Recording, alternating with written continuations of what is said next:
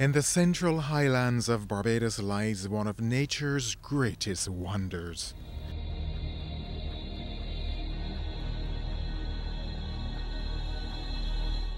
This breathtaking, beautiful limestone cavern is a testament to nature's mastery that has grown undisturbed for thousands of years.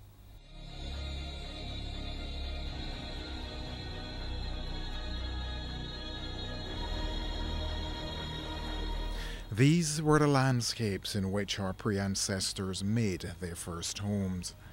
But over the centuries, we developed sugarcane fields, we planted various food crops, we erected buildings and constructed pathways above this wonder, unaware of its existence.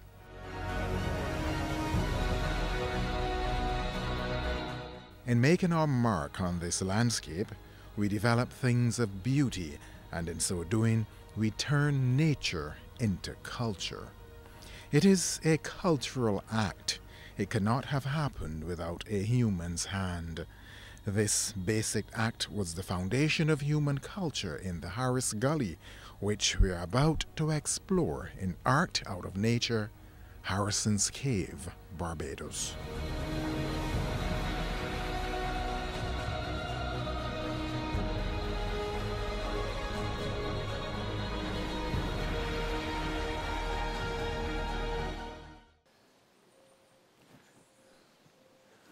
Hello and welcome to Art Out of Nature, Harrison's Cave, Barbados. I'm Sherwood McCaskey.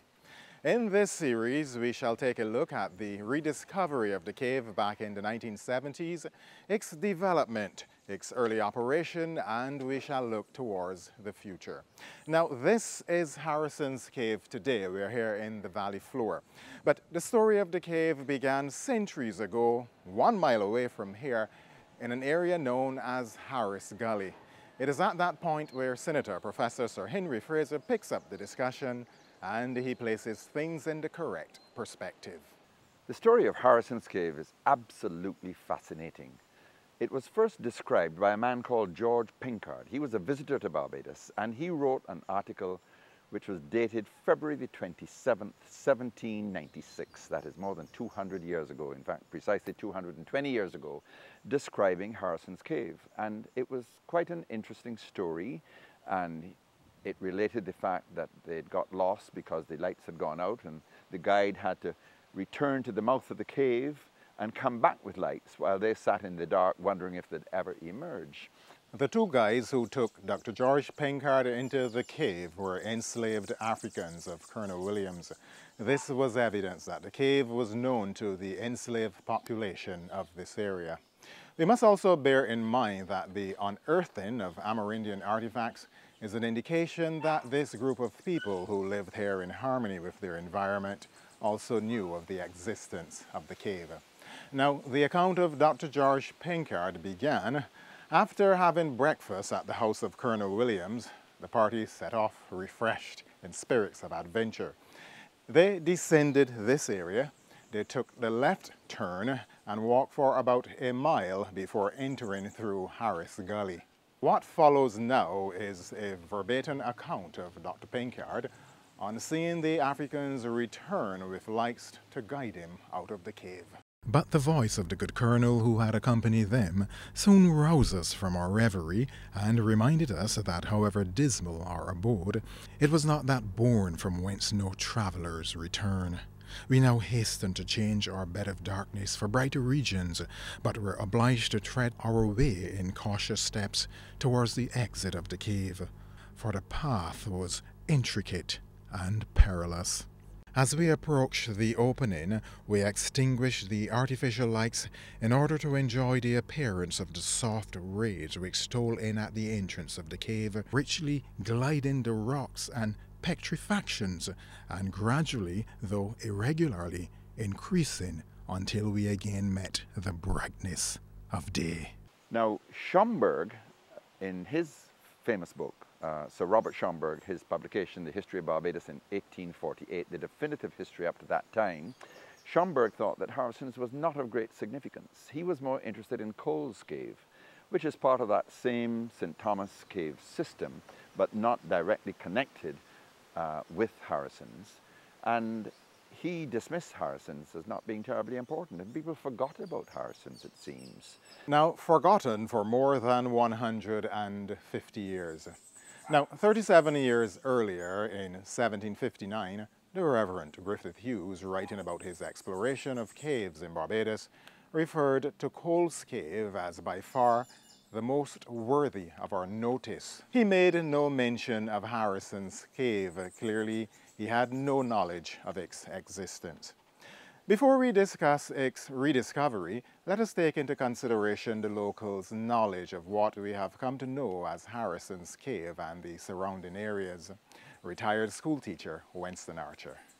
I've been a, resident of this area for my, all my life.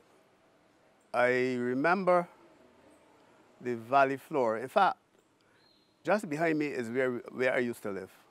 Just behind this um, area here where I used to live. Our land is um, abound to this, to Harrison's Cave. Before my time, it was told that down here was a cricket ground. Fellas used to play cricket in this area many, many years ago. And they would have had a pitch and everything. There was a huge fustic tree at the back of me. And you, they would make bats from these fast, this fustic tree because the first tree is a very, very hard wood. And they would um, play cricket down here. But they say, on, especially on Sundays, somebody would bring a, a bag of coconuts and the fellas would throw at them for a fee.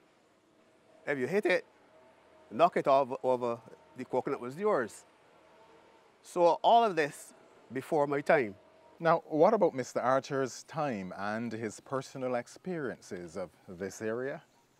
As small children, just come down here and have some activity. But remember, to get down to, to this valley floor, we would come down on coconut limbs. We would put the limb out and we would get the, the limb and get on it and slide down the hill because it had a slope. And we would do that all the time. We would come down here cook. To get away from our parents, we come down here. Somebody would bring some lard oil, somebody would bring some salt, somebody would bring some, some butter. And in fact, every person in that group will have to bring something. And that is what we used to do. We come down here, we cook. Stop the whole day. Sometimes the whole day, we would be down here getting away from our parents, not doing mischief, but cooking, playing, or whatever, exploring the gullies. And if you look around, you, you can see all the, um, the, the holes, the, the rock holes and thing that we used to um, engage in our, in, our, in, our, in our play. We also used to come down here and, because we've had some bees and things like that, used to be in, this, in the hills. We would come and we would they had a man named Mr. Beckles. He would smoke the bees, but then he would reach in and take the, um, the bees, the, um, the honey from the, from the, from the hive. If you look around, you can see the, those vines hanging from the, the walls. We would, we would say, we were Tarzan, we would swing on the, on the wrist. Above here, just above us, to, the, to my left, was a ground called Big Tate. And that is where the, the car park is and the, the administrative centers are. And we would go there, we would go up here and collect canes from the field, throw them down the bottom, especially if they were juicy cane. We would, because you know juicy cane is very soft, we would go up there, throw them down, and we would have our cane at the bottom. When the, when the watchman comes, he won't find us, right? Because the, the cane's at the bottom already. And all of those things we, we, would, we, would, we would do from, from time to time. Now, was there anything else that was done in the gully from time to time? The gully, the gully was a meeting place for, for, for fellas. You know, yeah, if you're a fellow man, you can come in, you can, you can sneak in, and you, you know it's fairly, fairly private, fairly um, you know, uh, you, boy can't see you. And you come in, you, you come and you, you meet, a, meet a girl. You might not come in the same direction. She come from one direction, you come from the other. You hear me? And that's how it was. Fellas used to meet in here, and meet. I believe they still do meet. Typical childhood days. All of this was being done oblivious to the existence of this natural wonder that would eventually welcome thousands of visitors from all over the world and become a major foreign exchange earner for Barbados. We never knew that there was really a, a cave down here as such.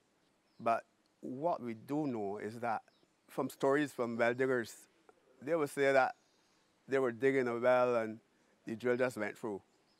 So we knew that there was something um, untoward about this place.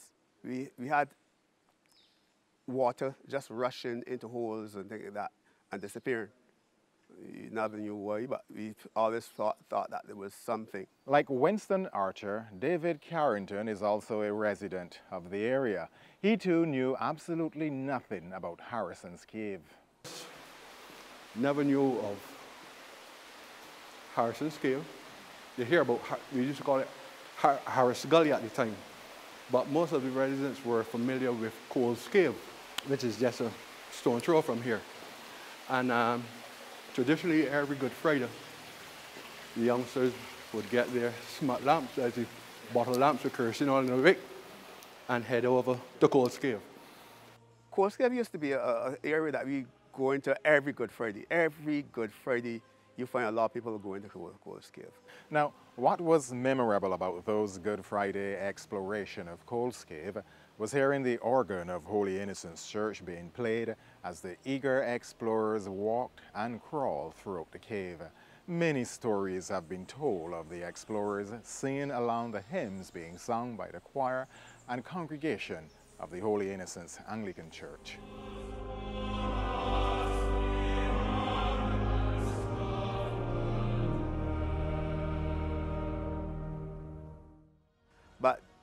Younger people when they have vacation, they will go every day. You go into Coles Cave, you try to, to, um, to get somebody. Because I don't know if you ever went to Coles, but you have to go down a slippery path. And then when you get down to the hole, you have to hold down a little while, for a little while and then stand up. What fellas used to do when they know that you were inside, they would get a lot of trash, a lot of cane, blades, and light the mouth of the cave so that you couldn't get out.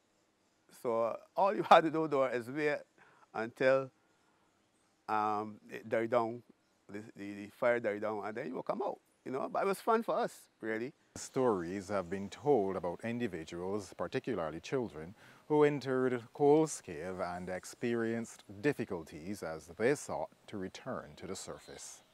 There was a time that some children went in. Well, they knew, people knew that they went in, and by a certain time they to come back out. What happened is that all the flambeaux and things like that um, went out for everybody. So what they did is just huddle the thing one place, and then knowing that somebody knew that they were in there, they waited until they were rescued, right? But another thing is that you, you, you can go into there and you, if you don't have your own markers, you don't know where you're going, you can get lost in there because there are a lot of tunnels in there. Residents and Coles Cave explorers often spoke of Bat Island and how the produce of Bat Island was used as fertilizer for a major crop on a neighboring plantation. There's a place called Bat Island you can go across there, and it used to be, I, I, they would say that Walk Spring, the plantation just above, they used to take a lot of the um, guano from the, they would go in with their trays, their, their, their um, dung baskets, and bring and throw it to the, to the, to the, um, the, the, the canes and things like that.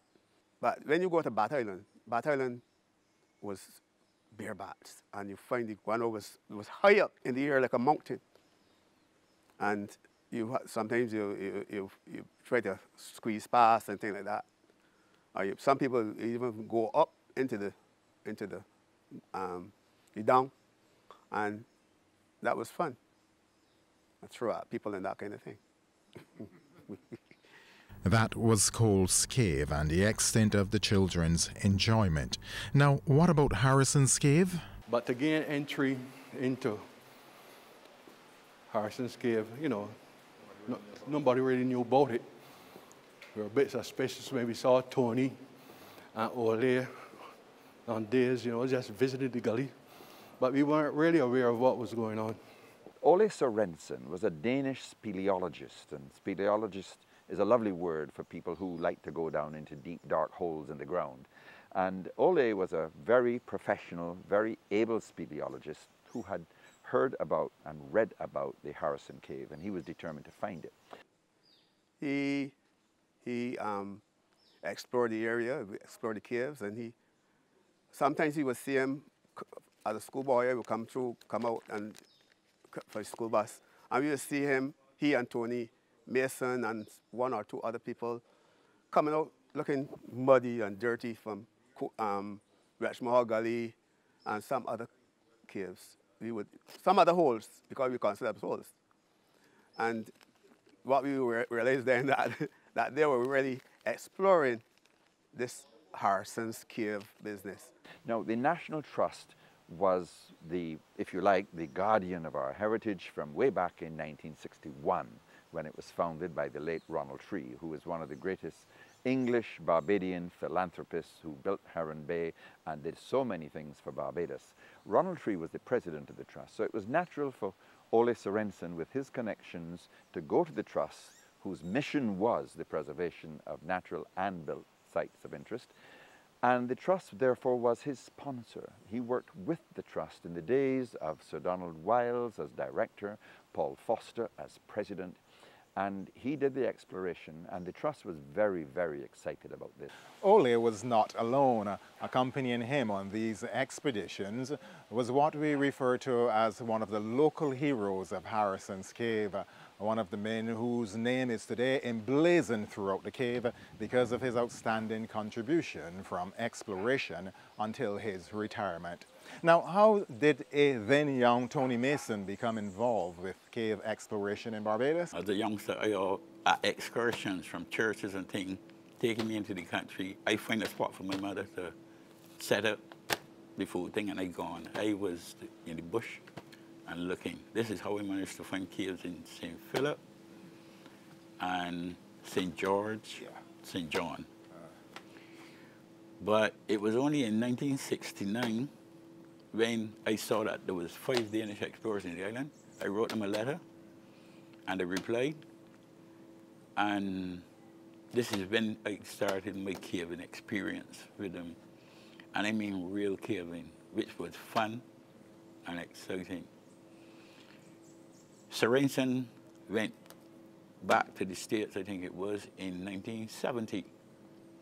And I thought that this was the end of everything. But then, again, at around July, he wrote back a letter asking me if I would work with him, exploring the caves of Barbados. And this was one big opportunity. I jumped at it. For Tony Mason, this was an opportunity of a lifetime. Little did he know that his contribution was destined to generate the much needed foreign exchange for Barbados.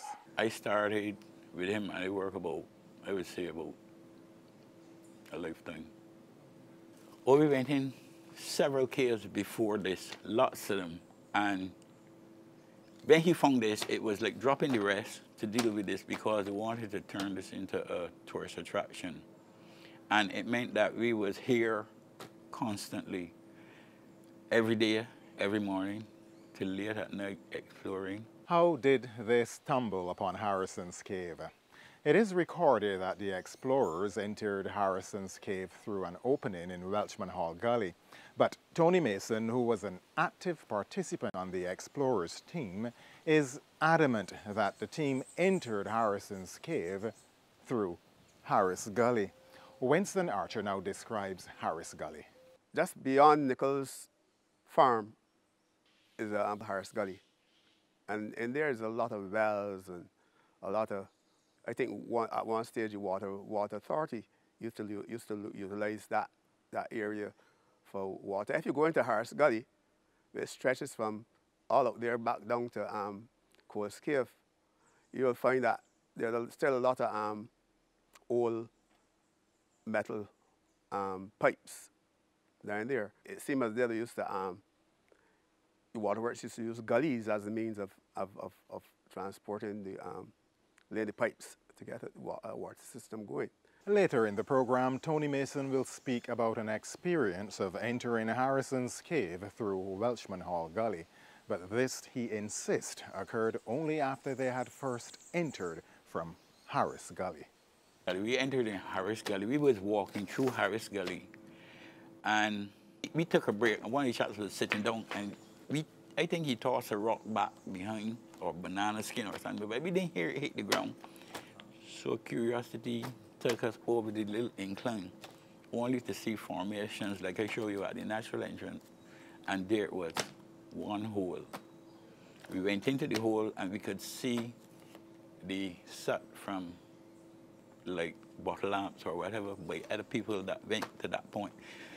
But about 50 feet, like I tell you, we came to this siphon of water that was touching the roof and the floor, and that was it.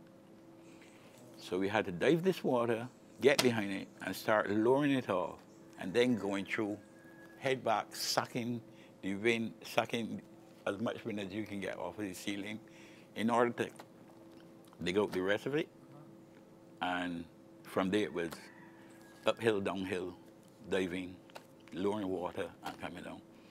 But it was good because the more we did this, the more cave was, was being found, discovered.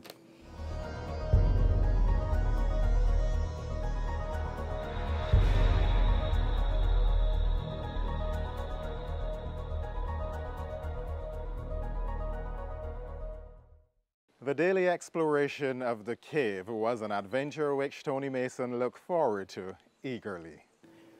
I, I used to wake early in the morning just to go into a cave. I remember when we found the upper part of Harrison's Cave in Welchman Hall Gully, it was the evening about six o'clock. And he was searching all the sites and they was sitting down just by rock.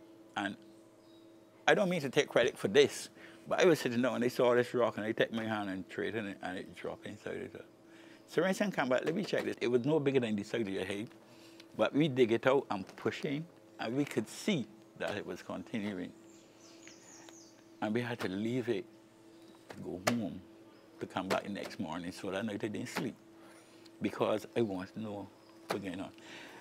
And that part of the cave is so beautiful. The key of straws is coming from the ceiling right down to the floor. We found a crimson color. And I, I was wondering if somebody threw a Berger paint up top. You know, it was crimson red, but he never paid it no mind. And I was just playing with it. So I don't know if back then the Arawaks had some sort of stuff that they used to put on the face with it. And I jumped to this conclusion. I could be wrong, but it was really a beautiful ring, like this thing, beautiful ring. We crawl to avoid breaking out any formations. This was rule number one. In, in any cave, rule, there's rules. Take nothing but pictures, leave, leave nothing but footsteps. We had to destroy some of the cave straws in order to get through the passage, to come right down to, from in Bryan Road, on the Bryan Road, to the place that I showed you when we was coming in.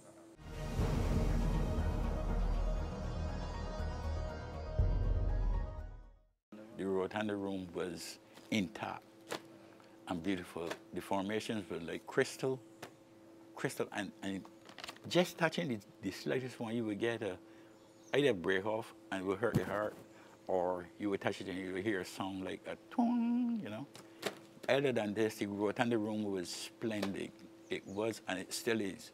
Having entered through Harris Gully and stumbled upon what is known as Explorer's Pool, the task of crawling along the narrow stream, eager to see what awaited them, continued.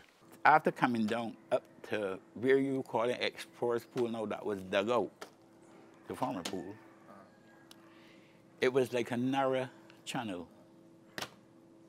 Good, and we had to do some diving, yes, to get into the big room. After that, there was two passages, twin falls, and another twin falls it. There was like two falls coming down. So we took the first one, and we battled into the big room.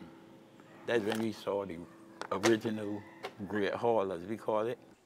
Now, as you listen to the description of the exploration as told by Tony Mason, who accompanied Ole, it is clear that Ole was guided by the account written by Dr. George Pinkard of the Royal College of Physicians, dated February 27, 1797, and published in London in 1806. You would recall that two enslaved Africans of Colonel Williams took him on a guided tour of the cave. It appears as if Ole read the account of Pinkard's store and he set out to do the same. And then we started going downstream. We explored all the little areas that I would show you when we go into the cave. And there's a lot of little passages down there that ain't developed. But we followed the water stream downstream and it kept going, sometimes up, sometimes down, diving, clearing, pushing back mud, you know. It involved crawling, swimming, unaware of the depth of water. This exploration took them all the way down to what is known today as the Cascade Pool area. Um, at Cascade Pool now, that was one long channel and it was developed into what you see now as Cascade Pool. Beyond that, which is about a mile in cave, downstream, quarter mile up towards Mahal Gully, and 840 feet from Explorer's Pool to the natural entrance. But it is a lot of crawl, and then you come to one big siphon of water where we had a diver's dive, but you can continue.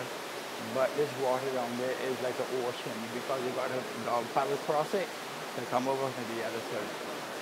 And the cave continue and continue right down where you're soon to fresh water there. But to get there, we need more men or different men.